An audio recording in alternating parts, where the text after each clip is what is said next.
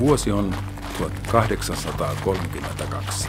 Karl Anton ja Alma kiiruttavat kotiin pitkin kaskisten tyhjiä katuja. Päivä on ollut pitkä ja pariskunta kaipaa jo lepoa. Kun he kulkevat kauppiaan, laivan varustajan ja kauppalaivan kapteenin Juhan Karlströmin suuren varaston ohi, ovet lentävät yhtäkkiä auki. Karl Anton ja Alma ovat silmännäkijöinä paikalla, kun tulli tekee iskun Karlströmin salakuljetuskätköön. Salakuljetus liitetään usein kieltolakiin eli alkoholijuomien myyntikieltoon.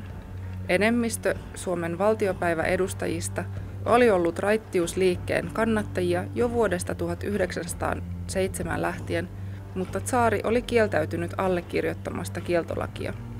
Laki astui siksi voimaan vasta vuonna 1919, kun Suomi oli itsenäistynyt. Laki kumottiin kansanäänestyksellä joulukuussa 1931, jolloin lähes kolme neljäsosaa äänesti lakia vastaan. Ruotsinkielinen Pohjanmaa oli, kuten rannikkoseudut yleensäkin, kuumaa aluetta salakuljetuksille ja salakuljettajille. Kaupunkilainen on antanut vihjeen, että Juhan Karlströmin priikki Najaden oli edellisenä iltana saapunut Kaskisten satamaan tullimuodollisuuksien ohi. Najaden oli ollut tarkkailussa jo pidemmän aikaa, ja Karlström oli vahvasti epäiltynä salakuljetuksesta. Mitään ei vielä oltu voitu todistaa, vaikka Karlströmin kaupan tuotevalikoima oli epäilyttävän monipuolinen. Operaatio käynnistyi tullijohtajan Juhan Wilhelm Bladin johdolla. Isku onnistui yli odotusten. Viranomaiset takavarikoivat muun muassa 80 kannua punaviiniä, 30 kannua valkoviiniä ja suuria määriä tupakkaa. Karlström kiisti salakuljetussyytökset ja väitti ostaneensa tavarat itse omilla varoillaan. Skandinaavia on tarjonnut salakuljettajille aina hyvän toimintaympäristön. Kauppaa on valtion toimesta ohjattu ja rajoitettu ja etäisyydet ovat pitkiä. Maantiede on vaikeuttanut viranomaisvalvontaa ja viranomaisten toimintaa. Vanhoja kirjallisia lähteitä on vaikeaa löytää, mutta tiedetään kuitenkin, että tullattavia tuotteita, kuten kahvia, salakuljetettiin 1700-luvulla. Myös laillisesti toimivien kauppahuoneiden oli joskus turvauduttava salakuljetukseen rahoittaakseen laivojensa palumatkan.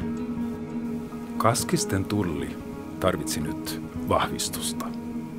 Tullihallitus lähetti kaupunkiin kaksi miestä, jotka peitetarinan turvin ryhtyivät tutkimaan Karlströmin valonarkoja liiketoimia. Miehet majoittuivat Talgrenin majataloon. Mutta pienessä kaupungissa sana lähti pian leviämään. Ei aikaakaan ennen kuin Karlström sai selville, mitä oli tekeillä. Vanhana juonittelijana hän kutsui miehet päivälliselle Benviikin kartanoon, jonka hän oli ostanut sangen erikoisissa olosuhteissa pilkkahintaan sen entiseltä omistajalta, konkurssin tehneeltä tullinjohtajalta Jon Wilhelm Bladilta. Blad inhosi Karlströmiä, eikä ihme. Päivällisen aikana Karlström tiedusteli tullimiehiltä, oliko asia kenties sovittavissa. Hän tarjosi heille rutkasti rahaa ja oletti heidän tarttuvan syöttiin, sillä tullimiesten palkka tunnetusti oli aika huono. Mutta ei, Karlström erehtyi.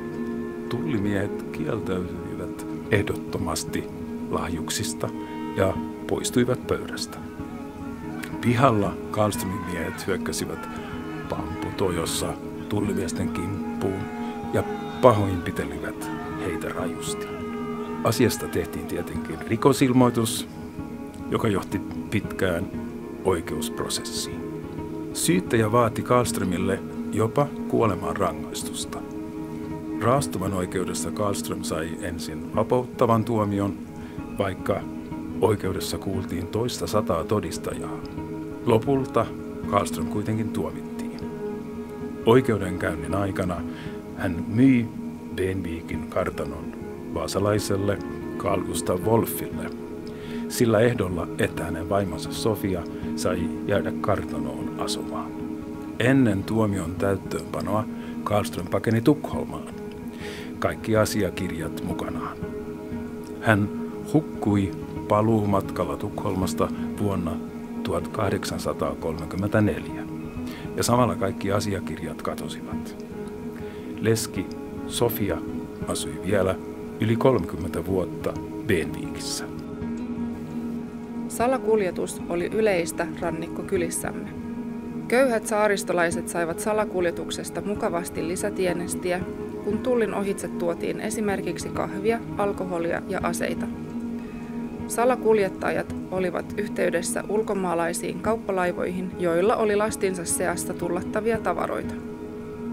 Kun lasti oli siirretty isosta kauppa-aluksesta pienempään veneeseen, tarkoituksena oli saada tavarat maihin rannikkovartioiden huomaamatta. Se oli todellista kissa- ja hiirileikkiä. Tänään vanhat salakuljetusveneet lepäävät käyttökelvottomina rannoilla, mutta ne kertovat menneistä ajoista seutumme historiasta.